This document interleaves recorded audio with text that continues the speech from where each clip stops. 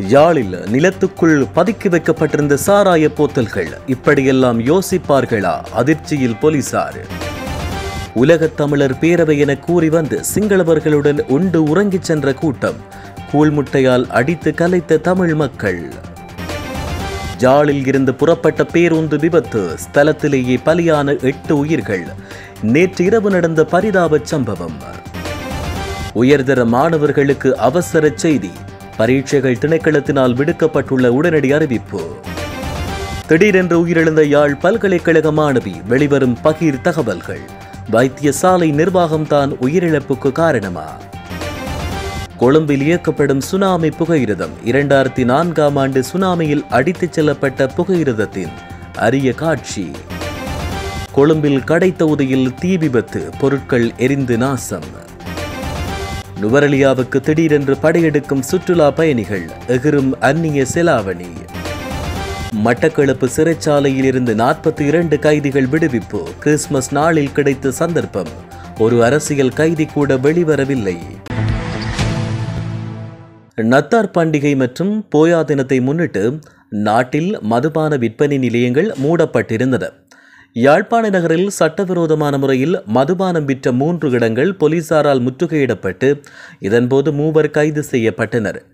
யாழ்ப்பாண மாவட்ட சிரேஷ்ட போலீஸ் அத்தியட்சகரின் கீழ் செயற்படும் யாழ்ப்பாண பிராந்திய போலீஸ் புலனாய்வு பிரிவுக்கு கிடைத்த ரகசிய தகவலை அடுத்து குறித்த சுற்றிவளைப்பு நடவடிக்கை முன்னெடுக்கப்பட்டது. யாழ்ப்பாணம் கஸ்தூரியார் வீதி கலட்டி சந்தி மற்றும் முலவை சந்தி பகுதியில் நடாத்திய தேடுதலின் போது மூவர் கைது செய்யப்பட்டுள்ளதுடன் நூற்று பதினேழு கால் போத்தல்களும் ஒன்பது முழு சாராய போத்தல்களும் போலீஸ் புலனாய்வாளர்களால் மீட்கப்பட்டுள்ளது. இதன்போது மண்ணுக்குள் குழிவெட்டி அதற்குள் சாராய போத்தல்களை வைத்திருந்து விற்பனையில் ஈடுபட்டவரும் கைது செய்யப்பட்டார். நேற்று மாலை தனியார் பேருந்தொன்று வேக கட்டுப்பாட்டை இழந்து வீதியில் சென்ற மாடுகள் மீது மோதியதில் எட்டு மாடுகள் உயிரிழந்துள்ளன. மன்னார் யாழ்ப்பாண பிரதான வீதியில் நாயாத்துவழி பகுதியில் இந்த விபத்து இடம்பெற்றுள்ளது. மேய்ச்சலுக்கு அழைத்துச் செல்லப்பட்ட மாடுகளை இவ்வாறு உயிரிழந்துள்ளதாகவும் இதன்போது மேலும் பல மாடுகள் காயமடைந்துள்ளதாகவும் தெரிவிக்கப்பட்டுள்ளது. இந்த நிலையில் சம்பவ இடத்திற்கு வருகை தந்த அடம்பன் போலீசார் மேலதிக விசாரணைகளை முன்னெடுத்து வருகின்றனர். நாடளாவிய ரீதியில் கல்வி பொது தராதர உயர்தர பரீட்சை எதிர்வரும் நான்காம் தேதி நடாத்துவதற்கான அனைத்து ஏற்பாடுகளும் மேற்கொள்ளப்பட்டு வருவதாக பரீட்சைகள் திணைக்களம் அறிவித்துள்ளது. உயர்தர பரீட்சை தொடர்பிலான கற்பித்தல் வகுப்புகளை நடத்துவது உள்ளிட்ட அனைத்து நடவடிக்கைகளையும் எதிர்வரும் டிசம்பர் மாதம் இருபத்தொன்பதாம் தேதி நள்ளிரவுக்கு பின்னர் மேற்கொள்ள முடியாது என பரீட்சைகள் ஆணையாளர் நாயகம் அமித் ஏந்துர தெரிவித்துள்ளார். மேலும் டெங்கு ஒழிப்பு நடவடிக்கை தொடர்பிலும் பரீட்சைகள் திணைக்களத்தினால் வெளியிடப்பட்ட அறிக்கையில் தெரிவிக்கப்பட்டுள்ளது. பரீட்சையை நடத்துவதற்கான சகல ஏற்பாடுகளும் மேற்கொள்ளப்பட்டு வருவதாகவும் பரீட்சை ஆரம்பிக்க முன்னர் பாடசாலைகளில் டெங்கு ஒழிப்பு நடவடிக்கைகளை மேற்கொள்ளுமாறும் அதிபர்கள் மற்றும் சம்பந்தப்பட்ட திணைக்களங்களுக்கு கோரிக்கை விடுக்கப்பட்டுள்ளதாகவும் பரீட்சைகள் ஆணையாளர் நாயகம் தெரிவித்துள்ளார். தரமற்ற ஊசியை செலுத்தியதாலும் சரியான முறையில் சிகிச்சை வழங்காததினாலுமே தன்னுடைய தங்கை உயிரிழந்துள்ளதாக உயிரிழந்த யாழ்ப்பாண பல்கலைக்கழக மாணவியின் உடன்பிறந்த சகோதரி குற்றச்சாட்டொன்றை முன்வைத்துள்ளார். யாழ் பல்கலைக்கழகத்தின் கலைப்பீட மாணவி குணரத்தினம் சுபீனா அவர்கள் உடல் சுகையினம் காரணமாக தெல்லிப்பள்ளி வைத்தியசாலையில் அனுமதிக்கப்பட்டார். பின்னர் மேலதிக சிகிச்சைக்காக யாழ் போதனா வைத்தியசாலைக்கு மாற்றப்பட்ட பின்னர் கடந்த இருபத்தி மூன்றாம் தேதி இரவு அவர் சிகிச்சை பலனின்றி உயிரிழந்துள்ளார். இந்த சம்பவம் தொடர்பில் ஊடகங்களுக்கு கருத்து தெரிவித்த போதே குறித்த மாணவியின் சகோதரி இவ்வாறான குற்றச்சாட்டொன்றை முன்வைத்துள்ளார். உலக தமிழர் பேரவையின் உறுப்பினர்களின் புகைப்படம் தாங்கிய பதாகையின் மீது காணாமல் ஆக்கப்பட்டோரின் உறவினர்கள் முட்டை வீசி தமது எதிர்ப்பினை வெளிப்படுத்தியுள்ளனர். அண்மையில் இலங்கைக்கு வருகை தந்துள்ள உலக தமிழர் பேரவையினர் கொழும்பை மையப்படுத்திய ஜனாதிபதி ரணில் விக்ரமசிங்கவை முதலில் சந்தித்து கலந்துரையாடியிருந்தனர்.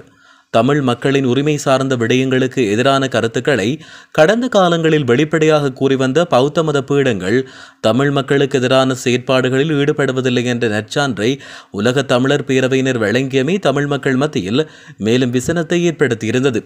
அந்த வகையில் வவுனியாவில் தொடர் போராட்டத்தில் ஈடுபட்டு வரும் காணாமல் ஆக்கப்பட்டோரின் உறவினர்களின் போராட்டம் ஆரம்பிக்கப்பட்டு இரண்டாயிரத்து ஐநூறாவது நாளாக இன்று உலக தமிழர் பேரவையினருக்கு எதிராக இப்போராட்டம் இடம்பெற்றது.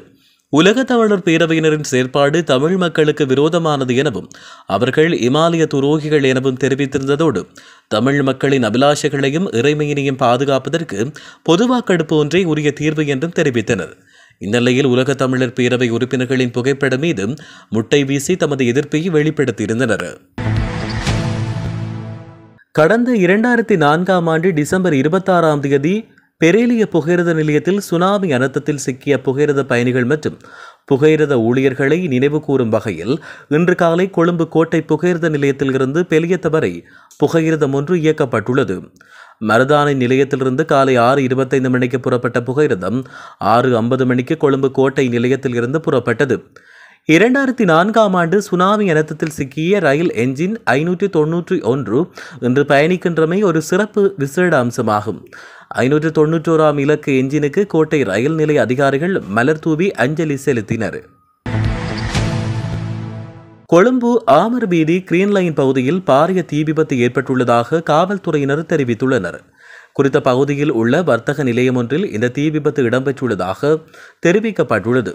இந்த விபத்தை தொடர்ந்து அங்கு சென்ற தீயணைப்பு பிரிவினர் தீயை கட்டுப்பாட்டுக்குள் கொண்டு வருவதற்கான முயற்சிகளை மேற்கொண்டு வருகின்றனர்.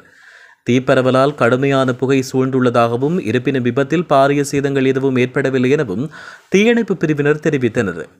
இந்த விபத்திற்கான காரணம் இதுவரையில் தெரியப்படாத நிலையில் காவல்துறையினர் விசாரணைகளை முன்னெடுத்து வருகின்றனர். இறுதி விடுமுறையினை முன்னிட்டு நாட்டில் பல்வேறு பாகங்களில் இருந்தும் நுவர்லியா மாவட்டத்தை நோக்கி உள்நாட்டு மற்றும் வெளிநாட்டு சுற்றுலா பயணிகள் படையெடுத்த வண்ணம் உள்ளனர். வார இறுதியில் சனி ஞாயிற்றுக்கிழமைகளிலும் ஏனைய விடுமுறை நாட்களிலும் வெளி மாவட்டங்களில் இருந்தும் வெளிநாடுகளில் இருந்தும் பெரும் தொகையான சுற்றுலா பயணிகள் நுவரலியாவுக்கு வருகை தருகின்றனர். குறிப்பாக அரசு மற்றும் அரசு அங்கீகாரம் பெற்ற தனியார் பாடசாலைகளுக்கு தற்போது விடுமுறை வழங்கப்பட்டுள்ள நிலையில் நத்தார் பண்டிகை விடுமுறை மற்றும் புத்தாண்டு விடுமுறை என தொடர்கிறது. இதனால் பெருமெண்ணிக்கையிலானோர் நுவர்லியாவுக்கு விடுமுறையை கழிப்பதற்காக வருகை தந்துள்ளதாகவும் இதன்போது தெரிவிக்கப்பட்டுள்ளது. ஜேசுபாலனின் பிறப்பை முன்னிட்டு ஜனாதிபதியின் விசேட பணிப்புரையின் பேரில் மட்டக்களப்பு சிறைச்சாலையில் இருந்து பொது மன்னிப்பின் கீழ் கைதிகள் கடந்த திங்கட்கிழமை காலை விடுவிப்பு செய்யப்பட்டுள்ளனர். ஜேசுபாலனின் பிறப்பை முன்னிட்டு ஜனாதிபதியின் விசேட பணிப்புரையின் பேரில் மட்டக்களப்பு சிறைச்சாலையிலிருந்து பொது மன்னிப்பின் கீழ் நாற்பத்தி இரண்டு கைதிகள் விடுதலை செய்யப்பட்டுள்ளனர். சிறைச்சாலையின் பிரதான ஜெயிலர் எஸ். பிரபாகரன் தலைமையில் இடம்பெற்ற நிகழ்வுக்கு மட்டு மறைமாவட்ட ஆயர் ஜோசப் பொன்னையா கலந்து கொண்டு கைதிகளுக்கு பொது மன்னிப்பு அளித்து விடுதலை செய்தார். இதில் இரண்டு பெண்களும் உள்ளடங்குகின்றனர். மட்டக்களப்பு சிறைச்சாலை வரலாற்றில் முதல் தடவையாக ஆயர் இதில் கலந்து கொண்டதுடன் அதிகப்படியான கைதிகள் விடுதலை செய்யப்பட்டமை இதுவே முதல் தடவையாகும். யாழில் நிலத்துக்குள் பதுக்கி வைக்கப்பட்டிருந்த சாராய போத்தல்கள் இப்படியெல்லாம் யோசிப்பார்களா? அதிர்ச்சியில் போலீசார். உலகத் தமிழர் பேரவை என கூறி வந்து சிங்களவர்களுடன் உண்டு உறங்கிச் சென்ற கூட்டம். கூழ்முட்டையால் அடித்து கலைத்த தமிழ் மக்கள். ஜாலில் இருந்து புறப்பட்ட பேருந்து விபத்து. ஸ்தலத்திலேயே பலியான எட்டு உயிர்கள். நேற்று இரவு நடந்த பரிதாப சம்பவம். உயர்தர மாணவர்களுக்கு அவசர செய்தி. பரீட்சைகள் திணைக்களத்தினால் விடுக்கப்பட்டுள்ள உடனடி அறிவிப்பு. திடீரென்று உயிரிழந்த யாழ் பல்கலைக்கழக மாணவி. வெளிவரும் பகிர் தகவல்கள். வைத்தியசாலை நிர்வாகம்தான் உயிரிழப்புக்கு காரணமா? கொழும்பில் இயக்கப்படும் சுனாமி புகையிரதம் இரண்டாயிரத்தி நான்காம் ஆண்டு சுனாமியில் அடித்துச் செல்லப்பட்ட புகையிரதத்தின் அரிய காட்சி. கொழும்பில் கடை தொகுதியில் தீ விபத்து பொருட்கள் எரிந்து நாசம். நுவரலியாவுக்கு திடீரென்று படையெடுக்கும் சுற்றுலா பயணிகள் எகிரும் அந்நிய செலாவணி. மட்டக்களப்பு சிறைச்சாலையில் இருந்து நாற்பத்தி இரண்டு கைதிகள் விடுவிப்பு கிறிஸ்துமஸ் நாளில் கிடைத்த சந்தர்ப்பம். ஒரு அரசியல் கைதி கூட வெளிவரவில்லை.